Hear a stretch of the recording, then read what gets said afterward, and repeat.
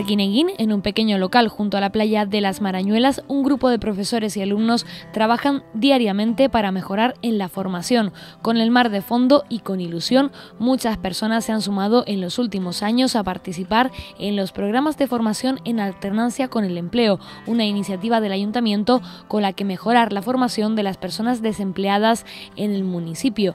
Clases, talleres y práctica durante varios meses para conseguir no solo resultados, sino trabajo ese es el caso, por ejemplo, de Yesenia. Pues yo llegué a PFAI, eh, supuestamente me llamaron del ayuntamiento eh, para hacer la entrevista porque habíamos como 100 personas y de ahí nos cogieron, eh, nos, valoraron a cada una y de ahí pues nos seleccionaron. después de ahí ya vinimos a, empecé y yo empecé desde cero porque yo en verdad que en mi época yo nunca estudié, yo todo lo sacado desde aquí. Empecé lo que es el inglés, lo que son las competencias claves, el módulo 1 lo saqué todo eh, directo, me costó mucho, muchas lágrimas, mucho agobio, eh, pero lo conseguí. Que yo hoy por hoy ahora mismo mm, me fui de práctica desde aquí al Dorado y me he quedado trabajando ahí. Después, de, desde ahí, eh, gracias al, ahora mismo a la formación que tengo del módulo 1, me han llamado de muchos hoteles porque sin eso ahora mismo no se puede trabajar. Y lo más que me ha costado ha sido mm, todas las formaciones que hice, los controles que teníamos, que teníamos muchos exámenes, eh, muchas cañas que nos dieron aquí afuera, que hoy por hoy estoy trabajando, porque a ver, yo venía con mi, con mi base, pero no la tenía suelta como la solté aquí. Yo aprendí de todo, porque yo venía desde cero, te lo digo sinceramente. una cosa es leer, que yo no leo en alto, me costó mucho, con Néstor me ayudó mucho en esa parte. Eh, hoy por hoy ya puedo hablar como ahora mismo estoy con ustedes, que eso no lo hacía yo nunca en la vida. El estudiar lo mismo, me, nunca lo había hecho. El sumar, todo eso me, fue lo más que me ha caminado hoy en, en día, porque lo puedo decir a boca llena y me vino súper bien que venir aquí. Yo tengo dos niñas, y en su momento yo decía, yo me voy a meter a arriesgarme a estar 11 meses ahí mm, con mis dos niñas, pero lo, pero lo conseguí hasta el último momento. Con mis luchas y lo tuve y hoy por hoy estoy trabajando gracias a eso, porque al mismo ya no te cogen en ningún sitio si no tienes los módulos. Y nosotros sacamos el 1 y aparte del 1, el inglés también que tenemos, hicimos muchas formaciones. El salir, por ejemplo, hacer la práctica afuera nos ayudó mucho con, las, señoras, las señoras mayores que fuimos también.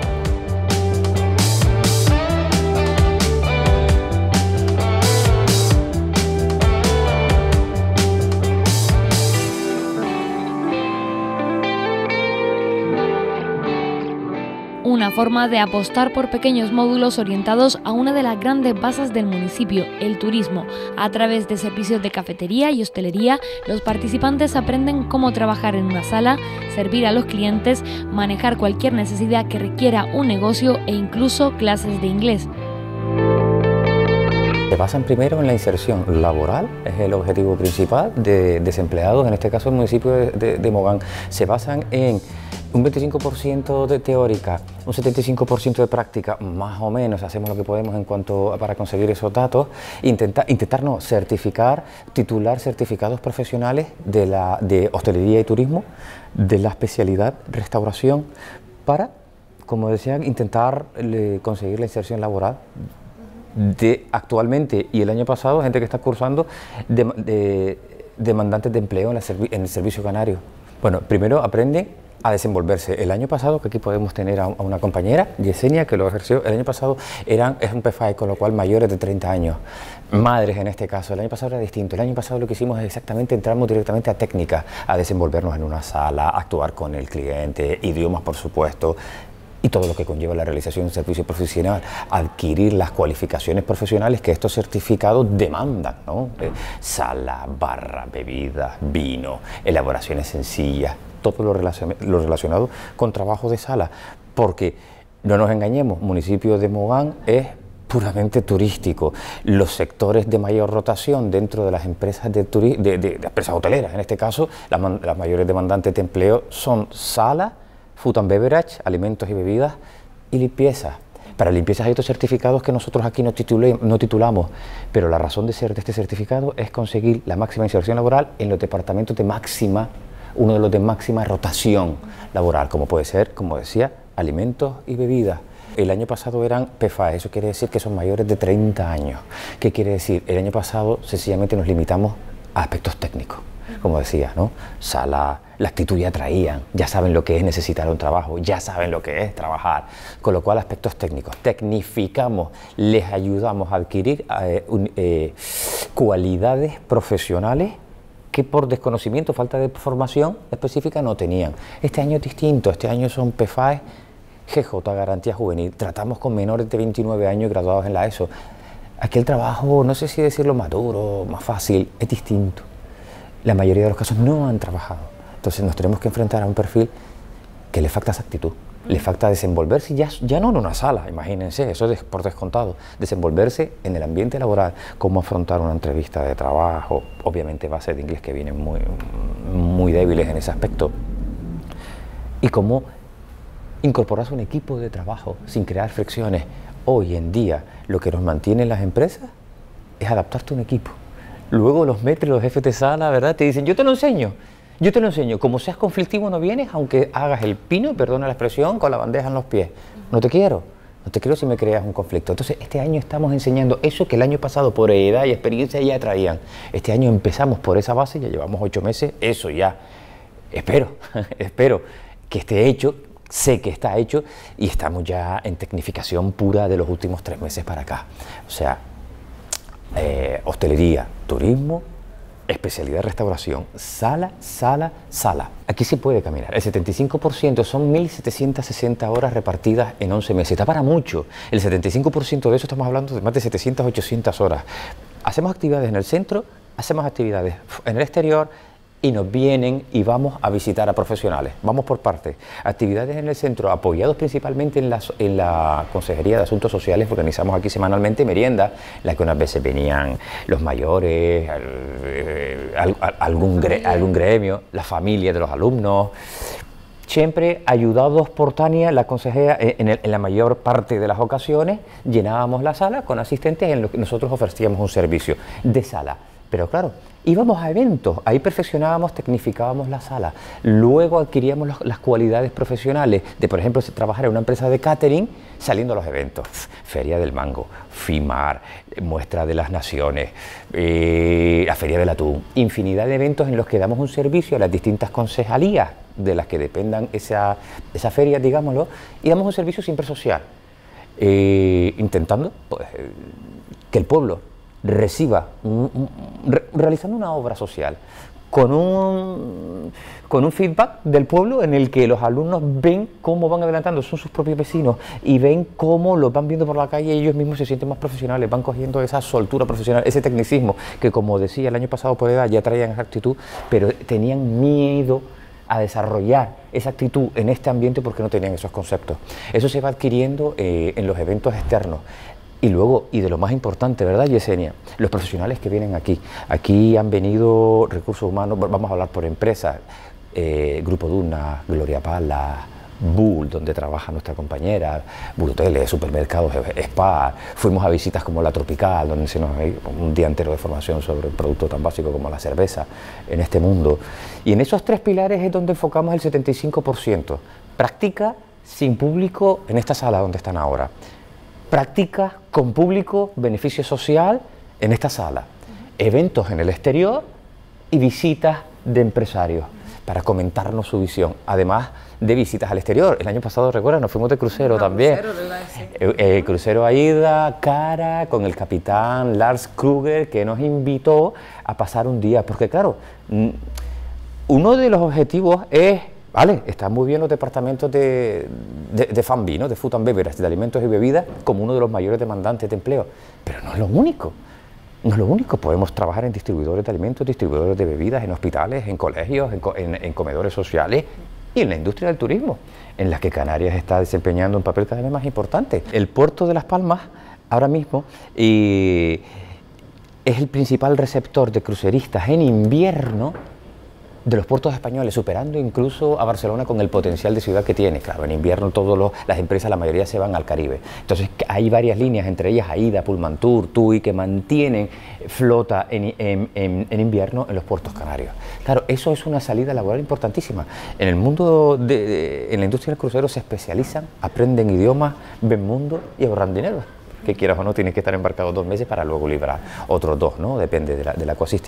Esas son actividades que, por ejemplo, realizamos el año pasado. ¿Cuántas personas? Aquí tenemos un caso eh, concreto. Yo creo, de 15 alumnos, yo creo que hayan trabajado 9 o 10 han pasado en algún momento por un trabajo. Luego están personas que desean trabajar o personas que por necesidades familiares o llámese lo que, cualquier razón, pues no pueden o no, o no desean trabajar por ahora, volver a estudios, que creo que está Marcos estudiando y demás. A, ciencia cierta sé que actualmente hay una persona trabajando en Gloria, dos personas trabajando en Santa Mónica Hoteles, tres personas trabajando en, en grupo en Bull, creo que está otra compañera trabajando también en por Anfi, eh, tal, ¿verdad? Y Luego, que hayan pasado a hacer sustituciones, pues creo que también tenemos Rita, también tenemos Tana. Hay otra chica que también está trabajando eh, en un complejo turístico de, de, amadores. En definitiva, yo creo que de los 15 alumnos, 10, 9, vamos a ser más conservadores, en algún momento han trabajado. Bueno, dependiendo, si es PFAE o es PFAE garantía juvenil. Si es PFAE, eh, puede ser mayores de 30 menores de 30. En cualquier caso, requisito básico estar dado de alta como demandante de empleo en las oficinas del Servicio Canario de Empleo.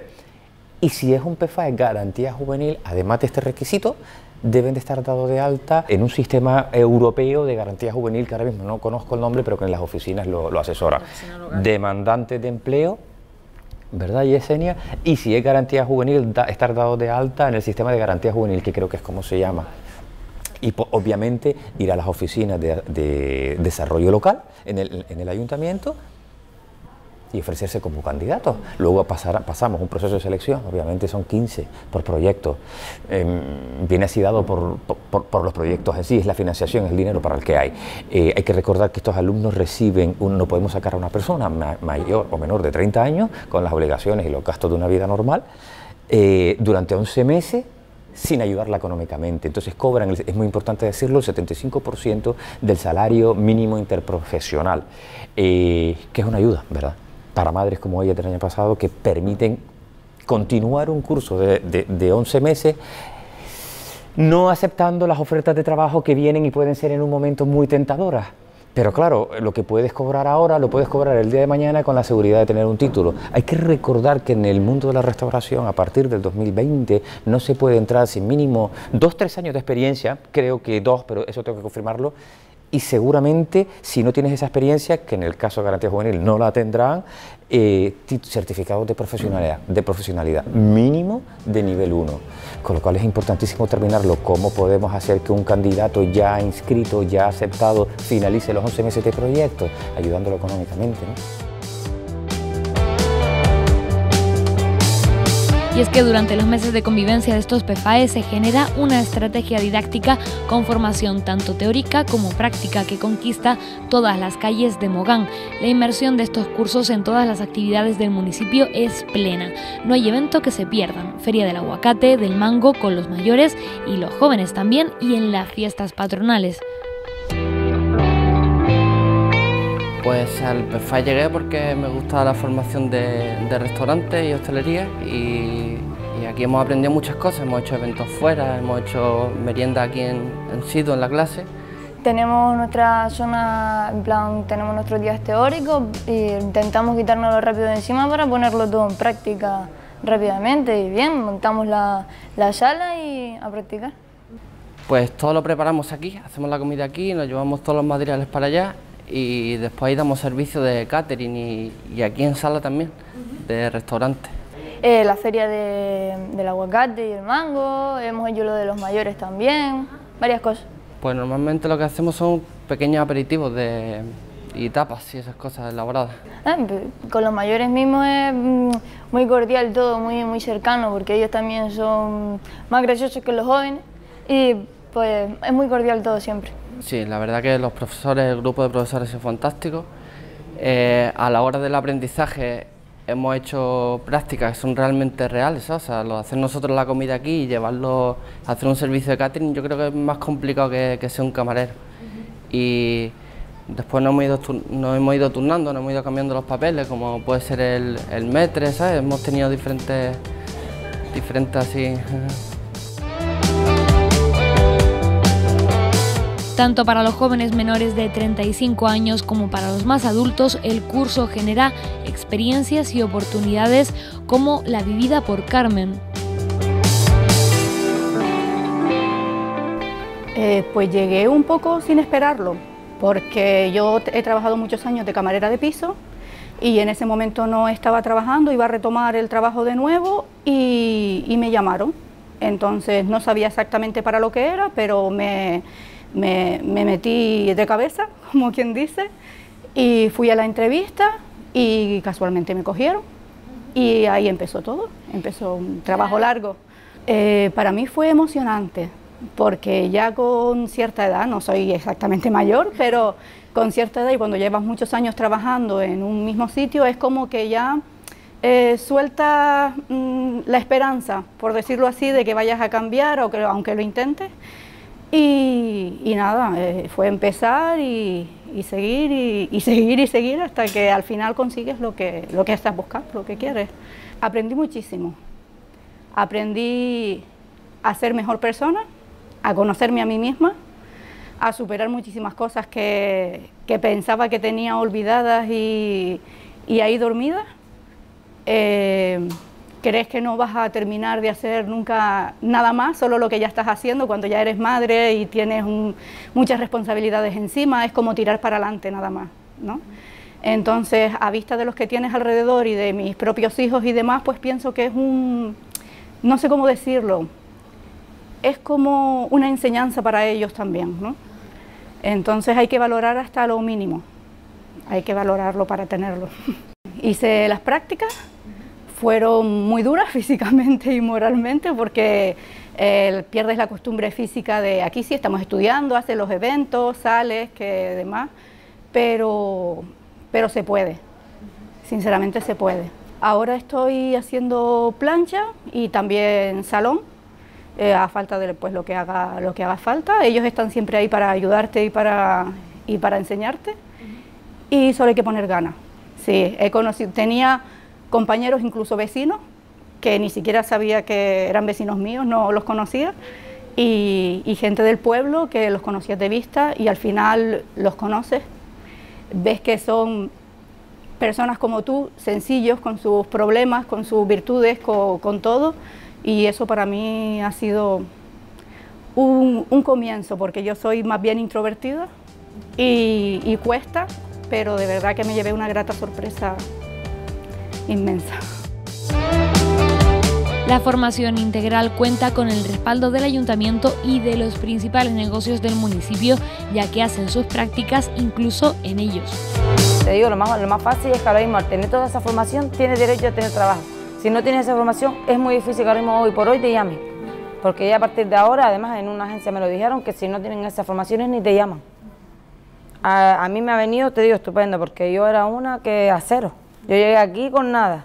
Sí, ya hicimos un ambiente entre todas, como que nosotros nos hemos quedado todas como si fuéramos familias en un grupo de WhatsApp, imagínense. Nos hicimos una familia en todos juntos. Me alegro mucho de que vuelva a venir el año que viene el de juvenil y el de mayores para que la gente que me ha, me ha preguntado, mucha gente se apunte. Mogan continúa así apostando por todas aquellas personas interesadas y que se encuentren en situación de desempleo, porque para emplear primero hay que formar. Somos un municipio turístico, ¿vale? Eh, creamos empleo no solo para los vecinos y vecinos de Mogán, sino para toda Gran Canaria y los que nos vienen de fuera. Pero si bien es cierto, una de las reivindicaciones, y, y por eso decía anteriormente, necesaria, es la formación de nuestro municipio. Nuestro municipio, por una serie de circunstancias, los vecinos y vecinas, pues bueno, pues cada una de las circunstancias de cada uno, pues falta esa formación. Entonces ahí estamos en diferentes concejalías entre educación y empleo, pues intentando mejorar la formación, nosotros con los proyectos del Servicio Canario de Empleo, la compañera Pino en educación con lo que es la Consejería de Educación para implantar los ciclos medios y superiores en el municipio, pero sí es necesario esa formación porque es la carta de presentación de ustedes ante los propios empresarios.